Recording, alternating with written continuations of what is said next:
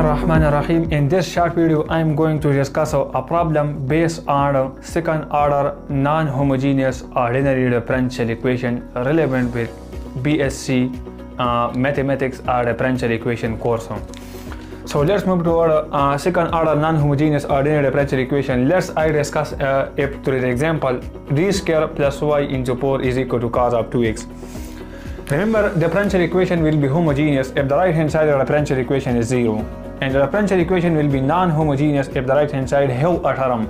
Have a term or many term. So over here we have one term cos of 2x, it means this is non-homogeneous differential equation. So move to solution. The complete solution to this type of second order or first order non-homogeneous differential equation is actually equal to the complete solution is y is equal to complementary function plus particular integral. So first we will find the complementary function, then we will find the particular integral. So in complementary function, this is actually equal to the auxiliary equation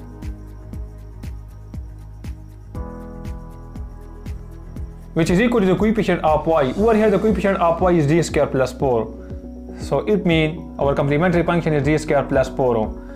Now for finding this unknown d, we will make complementary function or auxiliary equation is equal to 0. So by putting auxiliary equation is equal to 0, it becomes d square plus 4. Now from over here I get d square is equal to 4.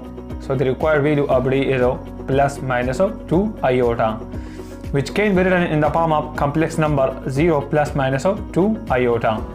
How can we find the complementary function to this type of roots when the roots are complex? So in this uh, case, uh, the complementary function is equal to e power alpha xo and uh, into c1 cos of uh, beta xo and plus c2 sine beta xo.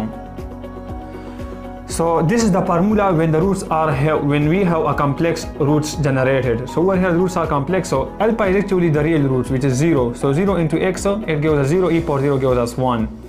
C1 is actually the arbitrary constant cos of beta. Beta is actually this imaginary root which is 2. So it becomes cos of 2x and plus o. C2 is another arbitrary constant. So it becomes sine beta. Beta is actually 2, so 2x. So this is actually the required complementary function. Now finding the particular integral. What is particular integral? Particular integral is actually equal to the right hand side of the non-homogeneous differential equation which is cos of 2x divided by f of d. f of d is actually the function the coefficient of y which is d square plus 4 in this case. So d square plus 4. How can we find the particular integral? Remember, over here the coefficient of x is 2. So we will putting the square of 2. Square of 2 gives us 4 with a negative sign in place of d square.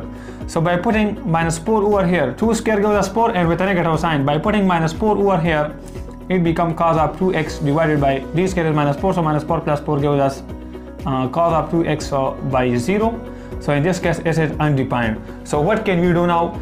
In these type of cases when infinity comes out we will taking the derivative of the denominator. So it become cos of 2x derivative of this case is 2d derivative of 4 is 0 because it's a constant. And also remember we will multiply it by an extra x so in this case particular integral will be x by 2 into 1 over capital D cos of 2x. So this d is actually the derivative, but in this case it is in the division. So when this d is in the division elan, it means we will integrate the given function. So integrating this function, so it become x by 2 into integration of cos of 2x is sine 2x divided by 2. So this is actually 1 over d cos 2x.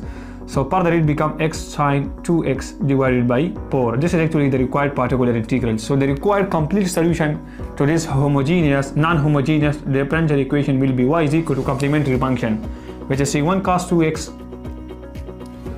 plus c2 sine 2x and plus particular integral which is x sine 2x divided by 4. So this is actually the required solution.